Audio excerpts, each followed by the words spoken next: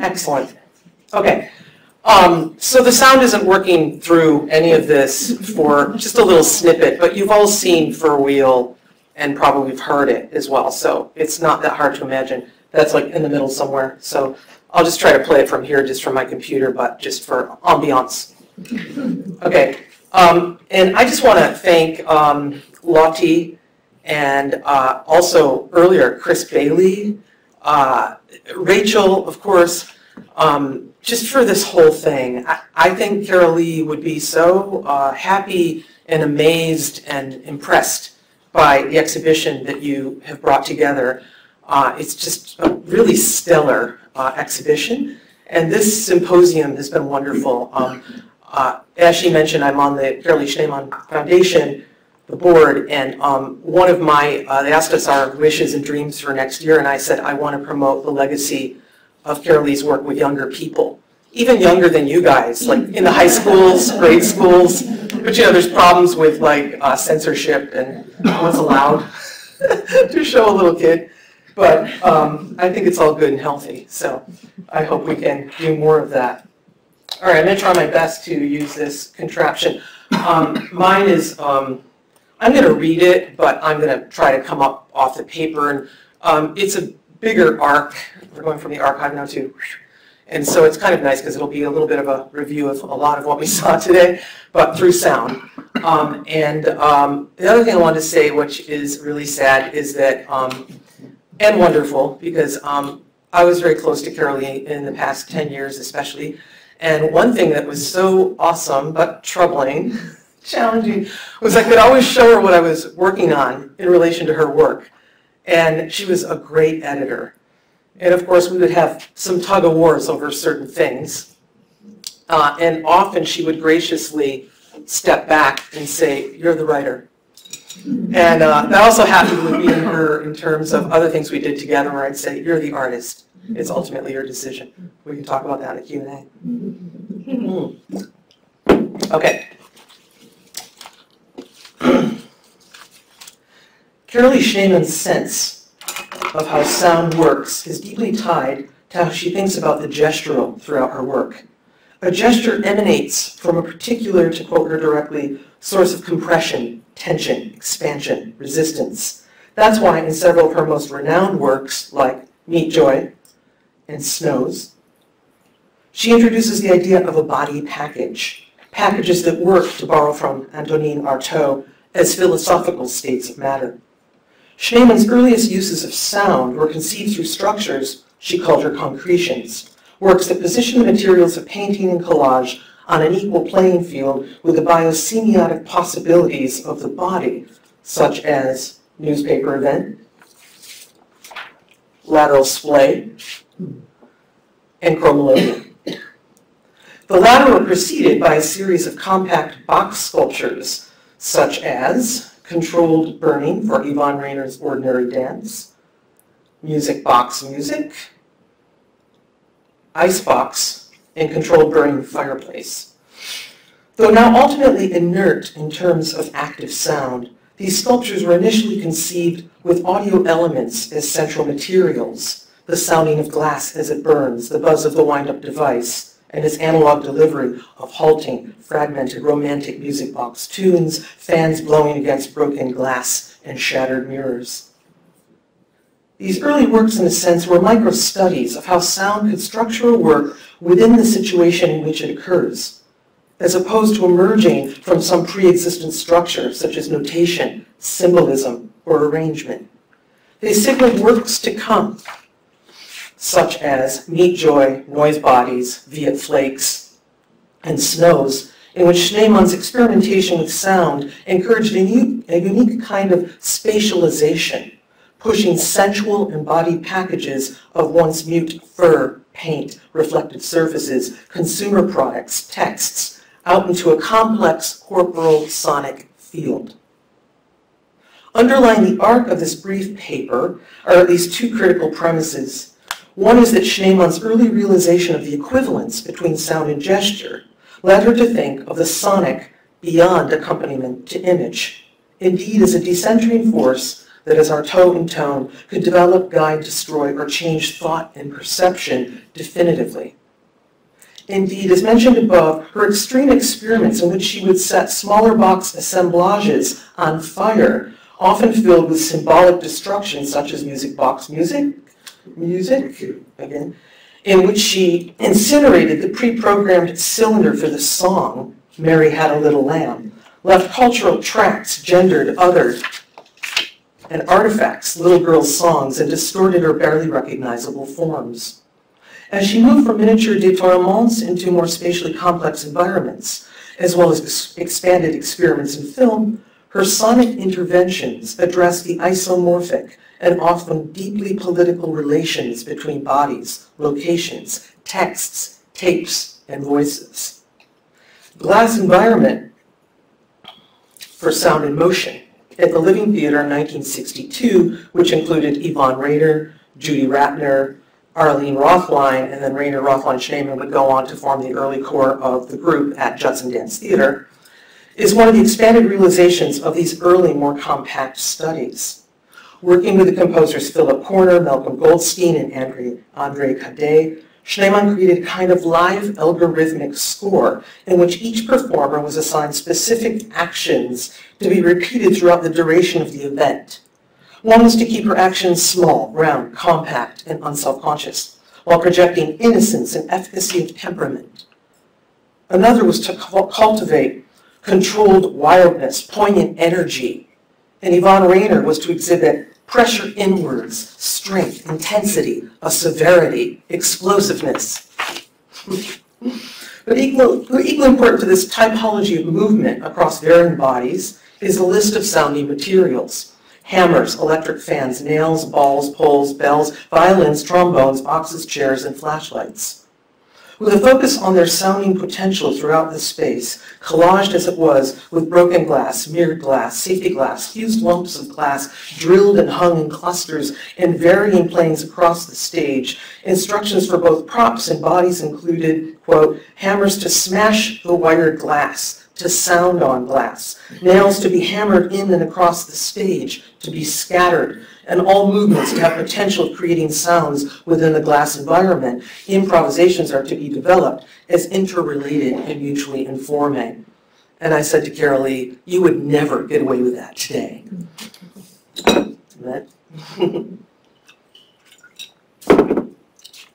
Although she, she might, knowing her. Glass environment for sound and motion was a prototype for other works to come, like newspaper event, lateral splay, Chromelodeon, as I mentioned, while working with experimental composers like Corner and Goldstein, and especially her partner and collaborator, James, James Tenney, as well as listening deeply to the work of Morton Feldman, John Cage, Steve Reich, La Monte Young, Pauline Oliveros, and Yoko Ono, and others, she began to think about the parallels between emergent scores and music and the cumulative force of visual physical cues in her concretions. The latter she described as being structured through a kind of centrifugal force. For example, in Chromelodeon, mounds of clothing and materials accumulated over time became layered and exponentially grew over the duration of her performance, taking on the shape, this is a direct quote from her to me, of a circus big top or an ice skating rink. Just love that. To most critics, Schneemann's Chromelodeon work looked like, to quote Jill Johnston, one of the most important Judson critics during this time, who also at other times lauded Schneemann, but for Chromelodeon, she's like, this is a messy, brainless happening with lots of clothes, rags, burlap, and paint. But the aggregate movement of what Schneemann describes as, movement as a set of object equivalences often had the effect of the kinds of computer-generated glissandos that Tenney achieved in his spectral works. And I'm going to talk about this, hopefully in the, the Q&A a bit, about spectrographic and spectral music, which I think Schneemann's creating a visual analog to. Schneemann was well informed about the works Tenney was composing and told me that she often would experiment on some of the sound recording technology that Tenney brought back home for Bell Labs. She, like Tenney, was interested in a phenomenological rather than a semantic approach to sound. Thus, Schneemann's use of sound, especially in her gesture-based concretions, was an attempt to achieve a spectrographic effect across both psychoacoustic and physical objects in which the elements of movement, fabric, color, and light would mirror or extend ideas related to harmonic fusion, residue pitch, and as well as modulations in amplitude and frequency. During the same year's Environment for Sound, Schneemann made the vertiginous fur wheel. Okay. A little clinking, clanking in the background here. Constructed out of a lampshade base, oil paint, fur, tin cans, mirrors, glass mounted on motor-powered wheel, preceded by her painting Pinwheel that's in the show. It looks gorgeous. From 57. And, and in that work, the base of the canvas is secured to a potter's wheel, and viewers were welcome to give it a spin. Fur Wheel expressed the move Schneemann was making from compact miniature reflective universes in boxes to more and more kinetic, expansive works. Her experimentation with sound encouraged this spatialization, pushing sensual embodied packages of once mute fur, paint, reflective surfaces, and here, consumer culture's products, out into a more complex kind of composition, one that had to be seen and heard in order for its aesthetic existence to be understood fully.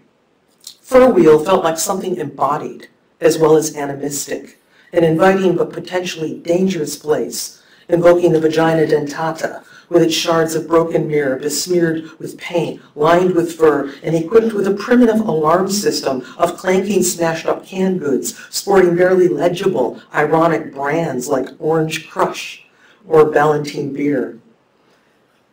As Spiros Papapetros has described, animistic phenomena are not only apparitions of what one wants to see, but are also as in the, in the experience of the uncanny, momentary, momentary projections of what one does not want to see and what one fundamentally refuses to acknowledge.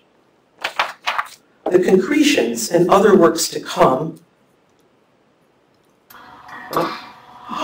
now it's working.